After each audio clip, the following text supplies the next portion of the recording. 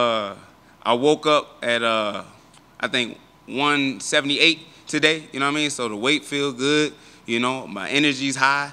And uh, I don't know if y'all see it, but you know what I mean? I'm feeling good. It look good. You know, I don't look all sucked out and depleted like a lot of these fighters. So yeah, we're honey. Yeah, yeah, I was actually kind of worried. I was like, I wonder what he's going to look like coming in here. But it nah, looks like nah. you. I mean, is this a spot you should have been all along? I should. I should have been here the whole time. But it is what it is. I came in for that check.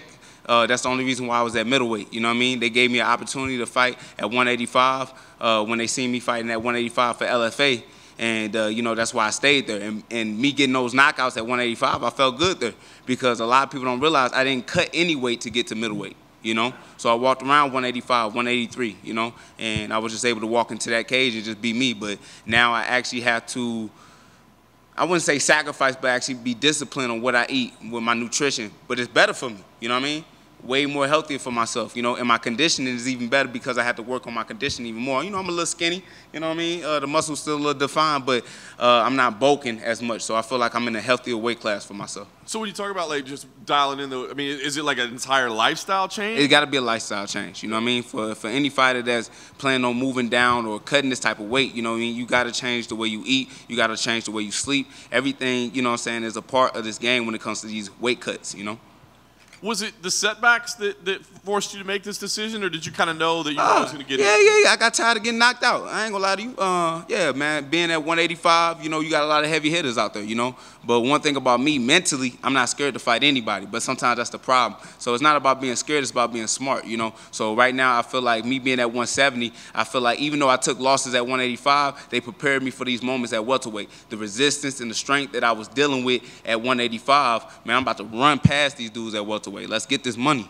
That seems like a very mature approach. Do you feel like you matured a little bit? Like you want to fight the biggest, baddest dude out there, but you realize, you know, oh yeah, yeah, yeah, yeah, guys that are yeah, my yeah, size. You know, I just turned 29, so I guess so. I guess you could say that, but you know, it's just common sense. You know what I mean? So if I keep allowing myself to go out there at 185, yeah, I might succeed, have a couple victories, but I just got to look at the data. I lose too. You know what I mean? So I just look at that data like, hey, I'm not trying to be a 50-50 fighter. You know, I want to be, you know, undefeated this year. You know what I mean? Not take no losses and make my way up to that welterweight belt the lifestyle change hasn't forced you to change your approach to social media, right? You're still nah, nah, nah, nah. Social oh, media is the most important part. Y'all already know that, you know. And I feel like you know my biggest thing I learned from you guys, you know, is constant work, constant work every day, man. Being able to put yourself out there or promote other people and stuff like that. So right now my mind has changed and it's been shifted, not as just a fighter, but as a businessman when it comes to my platform.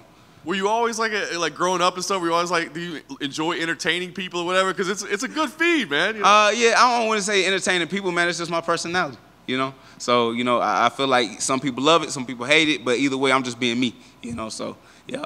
Nice. All right. Well, we got to focus on the fight right now. Matchup that you got here at uh, Dangerous Guy as well. I mean, what did you think about this fight when they put it together? Uh, I, I think the UFC want me to catch a good body, you know. So this is a good matchup for me, though. You know, this this guy is gonna come in there and try to bang. You know, he's uh is gonna give me everything that I'm looking for, and uh, it's gonna be exciting, you know, for me. You know, and uh, I just feel like you know this is the time to show up and show out because of the fight cards, you know. And no disrespect to any other fight on there, but just for me, I just feel like ain't nobody finna do it like I do it, you know. So I feel like this is uh, one of the fights that I need to go ahead and show out for the UFC.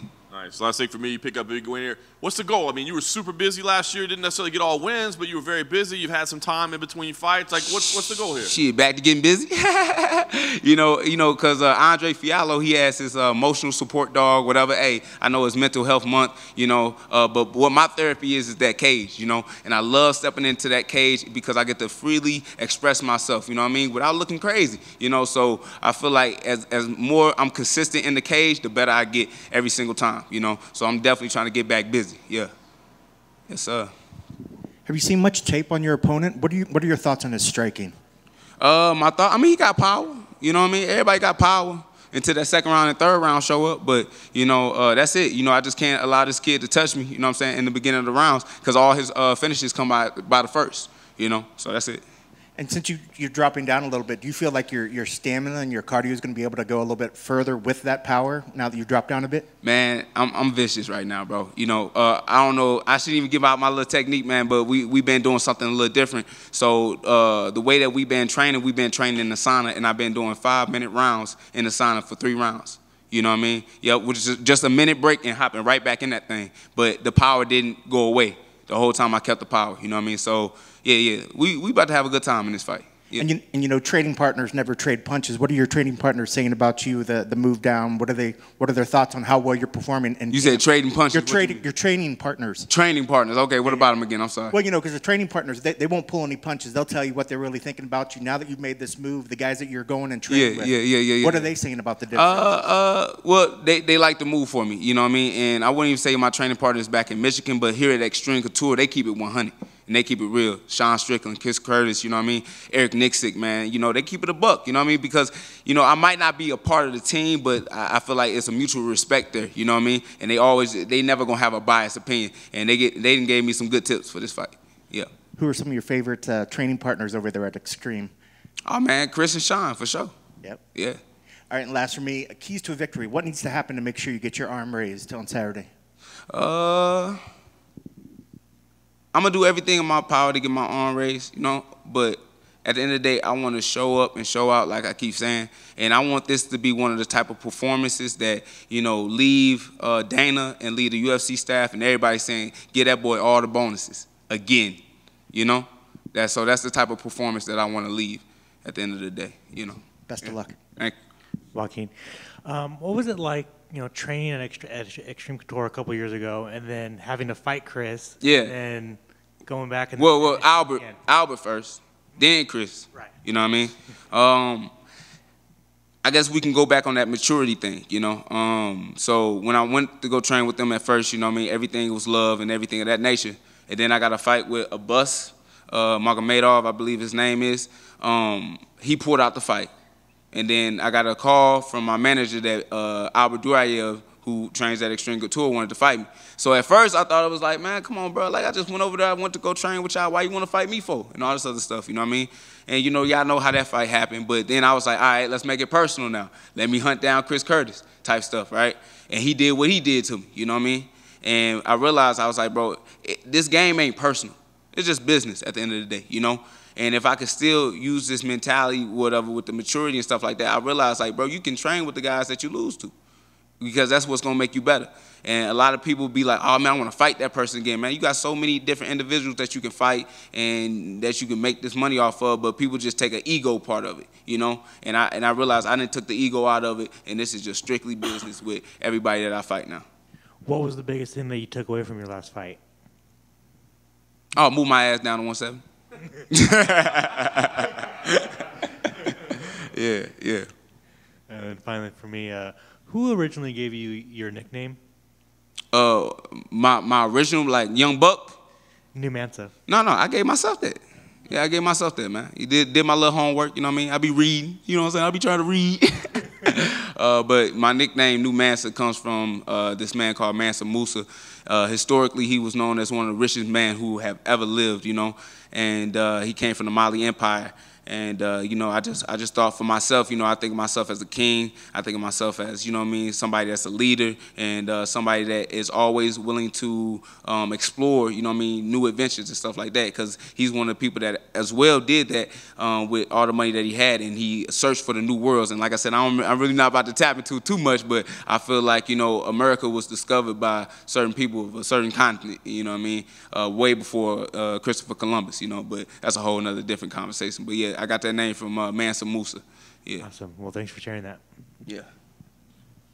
Joaquin, you mentioned uh, something that's super important with fighters, uh, as far as like the having that resetting your mind, that business, and branding, like the Joaquin brand. What are some things that we might have not seen you work on that you want to kind of throw out there?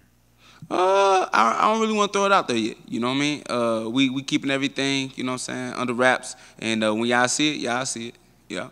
Mm -hmm. Excellent, thank you, sir. And uh, it's not under wraps. Like you just disclosed that that cut was super easy, and how you would walk around that middleweight. I'm assuming that it's just giving up a little bit of muscle to get Yeah, to 170? yeah. You're not a small guy anyway. Class. Yeah, exactly, exactly. It was the muscle. Like I said, you know, I'm a little bit skinnier right now. I'm not as bulk. Uh, but like I said, it's healthier for me. I've been eating clean, man. I've been eating salmon, chicken, rice, the same, the same crap every single day. You know what I mean? Uh, no sugar, no salt type things, and uh, you know, just a cleaner diet. I've been sleeping better. And uh, I'm just having a regular routine where we working a lot of conditioning more than we, you know, lifting weights and doing all this other stuff, you know. So yeah, I feel good right now. And you, you look great. Your Thank you. I appreciate your it. positivity. Thank you, thank you. That almost seems like it just brought a whole new longevity. Yes, yes. career. That's the perfect word for it. Yes, sir. Sure. And last for me, you mentioned whole men- mental health and you know your consistency in the cage. Some of people would look at this as chaos, but Yeah. this cage is your therapy. Yes. Yeah, yeah, yeah, yeah, yeah. I mean, I, I really grew up in chaos. You know what I mean? I, I, I didn't seen the trenches. You know what I mean? So for this, being in the cage and doing what I'm doing, you know what I mean? It's a safe environment. We got a referee in there. You know, if anything was to go bad, he would start the fight immediately. You know, so I feel like this is just a a, a, place where, like I said, I can freely express myself to the uh, to my uh, fullest potential. You know, because this is what I dreamt about since I've been a kid. Like that's no cap, you know what I mean. So yeah, I say this is the 30th anniversary. I'm 29. That's all I, I've been thinking about is becoming a UFC fighter, you know. So now that I'm here and I'm doing what I'm doing, I don't want to miss out on the opportunity to show the world exactly what I'm capable of and what my true potential is. You understand? And uh, for for real, you know, with those losses I had back to back, I really feel like me and Andre, you know, what I mean, we do got to show out, you know. And ain't nothing promised in this game, but I really feel like with us having those two losses, we fighting for a contract. That's just my personal opinion. That's my mentality, and that's how I'm walking to that cage. I'm fighting for my job, and I'm gonna beat your ass for that job. Yeah, I cannot wait to see it. Thank you. New new weight class. thank you. Good luck Saturday. Hey, that's a hundred. Hey, thank y'all, man. Appreciate you.